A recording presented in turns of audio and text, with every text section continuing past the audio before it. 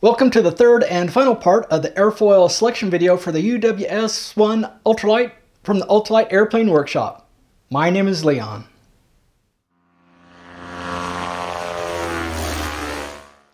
In part one of this video series for selecting the airfoil for the UWS-1 Ultralight, we talked about the criteria that we would use for selecting the airfoil.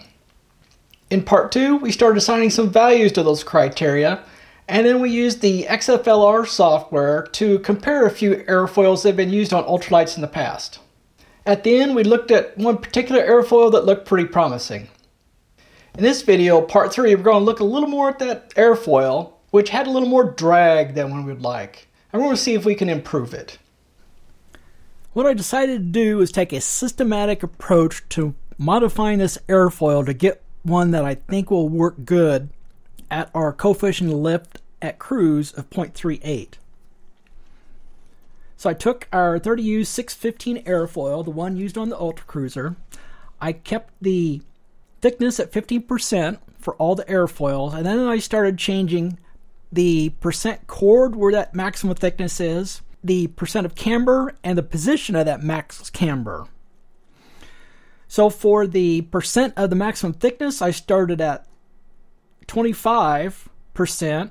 I did 30%, 35%, and that's as far as I went on that. On the camber, I started at 3%, and then I went up to 3.5, 4, 4.5, and 5%.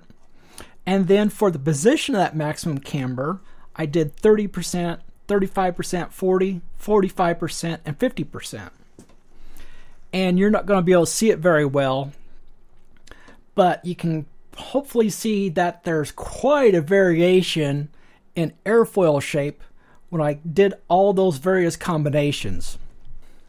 Now let's go look at the graphs for coefficient of lift versus coefficient of drag.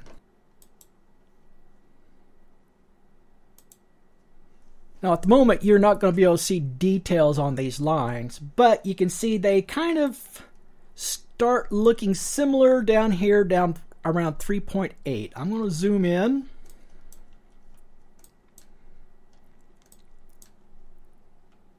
Now once we get down to this level of zoom, you can see that if you think about it in percent, there's going to be quite a variation here.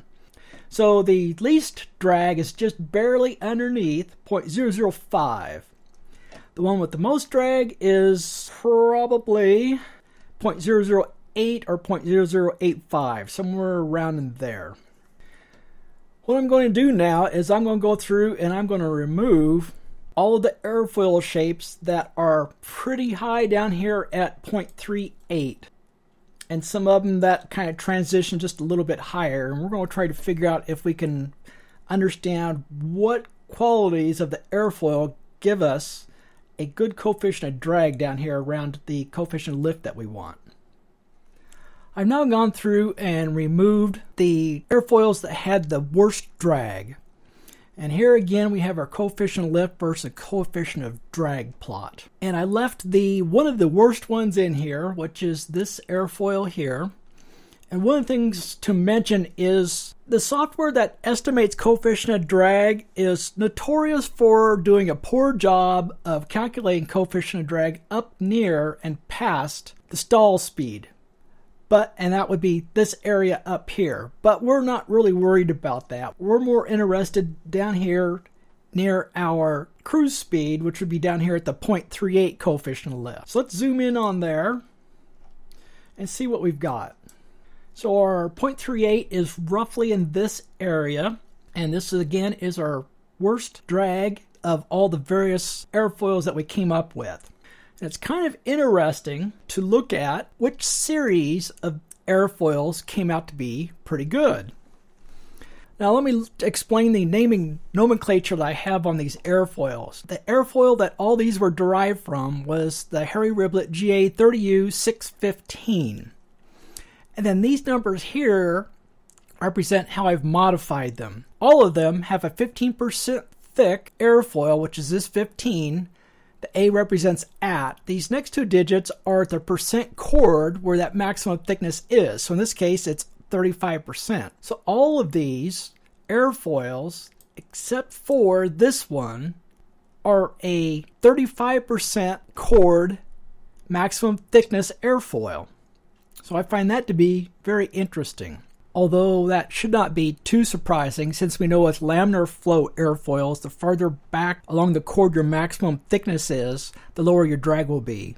So it's very likely that we are getting a little bit of laminar flow on these airfoils, even though we have a fairly large radius on the nose. This next set of digits is the maximum camber, and the decimal would be between the two digits. So, for example, this one is a 3% camber.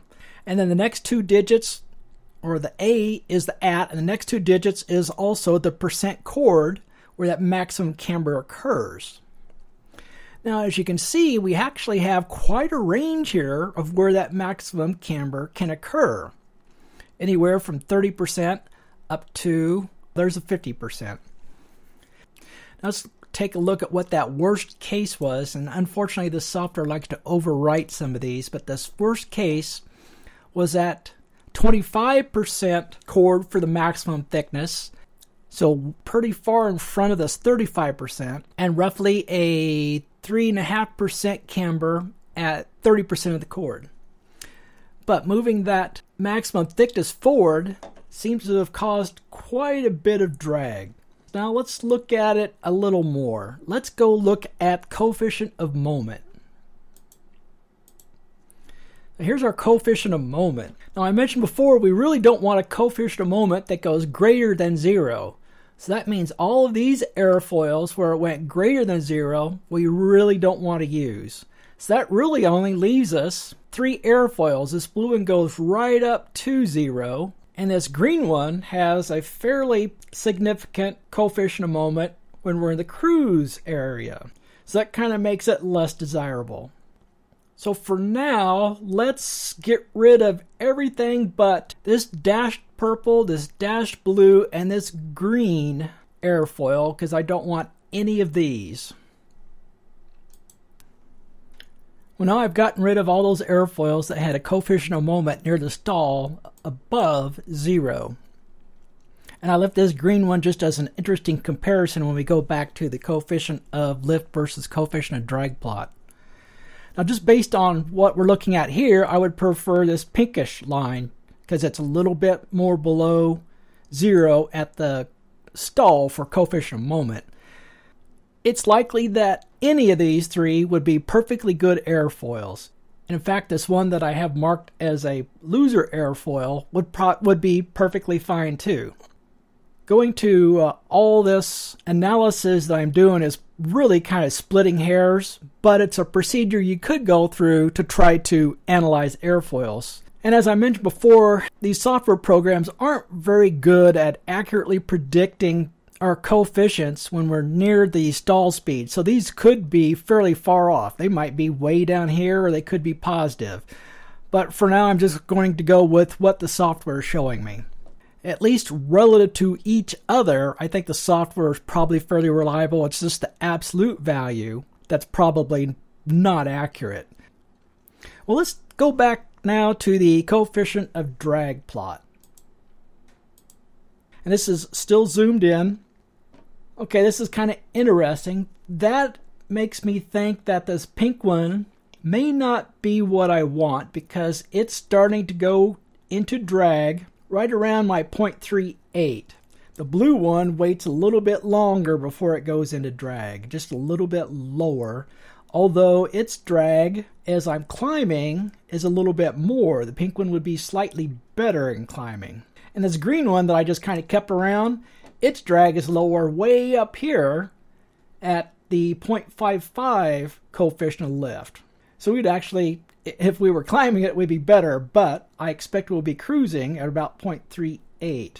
So I think either one of these pink ones or blue ones will work. I think I will probably go ahead and go with the pink one.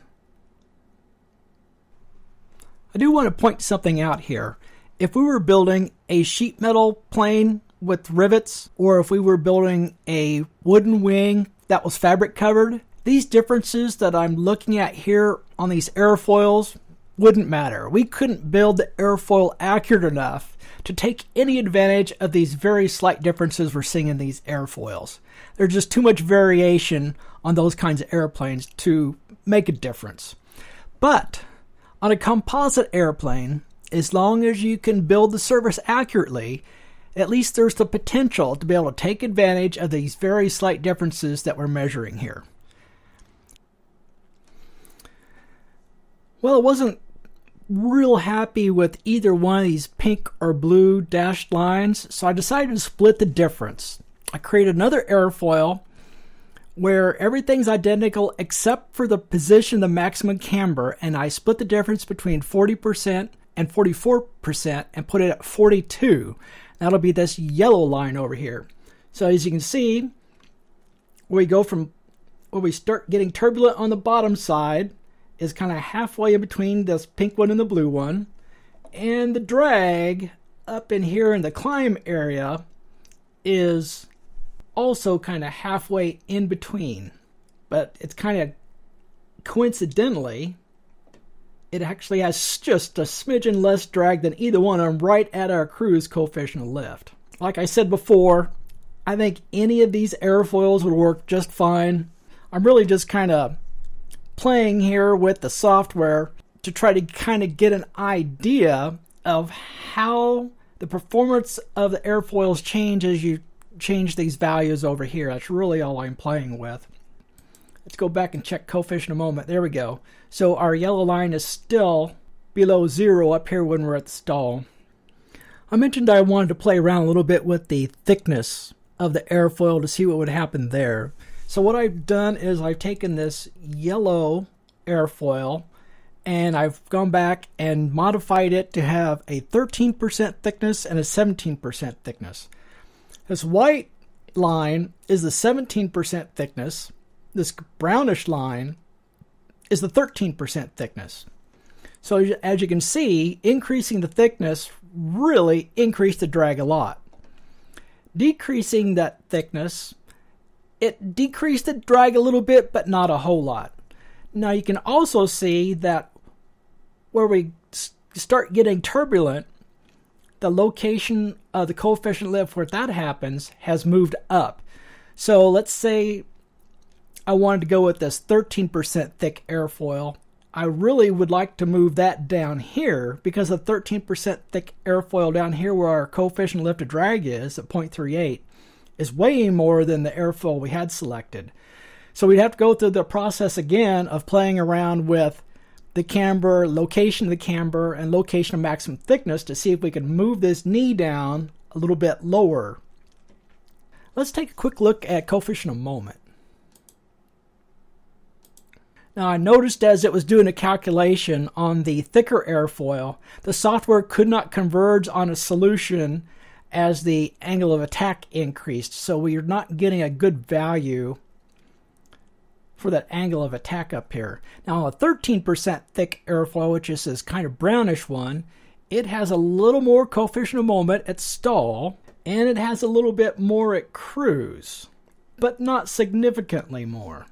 But as I said, if we played around with the numbers over here to move that drag knee down a little bit farther, it's likely that the coefficient of moment would decrease a little bit and move up closer to where this yellow one is. I just couldn't help myself, and I had to decide if I could make that 13% thick airfoil to see if I could move its drag knee down a little bit. And this light blue line is the newest airfoil that I came up with for a 13% thick.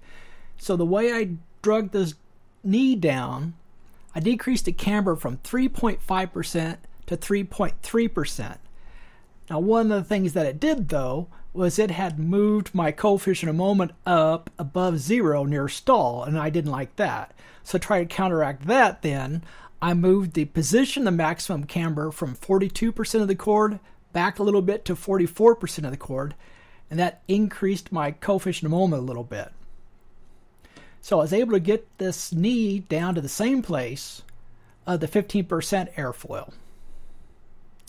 So it just kind of shows the way you can just tweak the numbers around a little bit and get the airfoil to perform the way you want it to. But for now, until I can get to the structural design of the airplane and figure out if I can do the 13% thick airfoil. I'm going to stick with the 15% thick airfoil. Well, we have a tentative airfoil for the UWS-1 ultralight now. This is not the final word on what the airfoil will be for the ultralight. I do need to do a little bit more testing. I want to test this aerofoil at different Reynolds numbers. The Reynolds number at the root of the wing will be different than the Reynolds number out at the tip. So I'd like to do a little bit more work on that. So I hope no one takes the work that I did in this video as the final word for what a good airfoil would be for an ultralight. It's just a possibility at this point. In the future, I may figure out that it's not such a good airfoil. It may have a significant problem. In fact, it could have a problem if I make a change to the wing that I'm thinking about. I'm giving some consideration to reducing the size of the wing, the surface area of the wing. And that's because I have a little bit of margin left in the coefficient of lift at stall for the wing. I calculated I need a section coefficient of around 2.3 to 2.4 in that area. I should be able to get 2.5 to 2.6 using slotted flaps, using a simple hinge instead of the complicated movement mechanism that airplanes like jetliners use. So if I can reduce the surface area of the wing, that should allow me to make the wing a little bit lighter and it should allow the wing to fly at a slightly higher coefficient of lift at cruise. That'll give me a few more airfoils that I can look at with the XFLR software just to see if we can gain just a little more drag reduction.